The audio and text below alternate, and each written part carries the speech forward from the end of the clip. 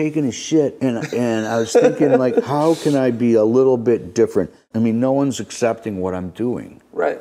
So you know, and I'm like, ah, fuck, do I know? I'm just trying to do what I got to do. I don't know. So he says, well, well, I was sitting on a toilet taking a shit, and came up with an alter ego. Slim Shady's my name.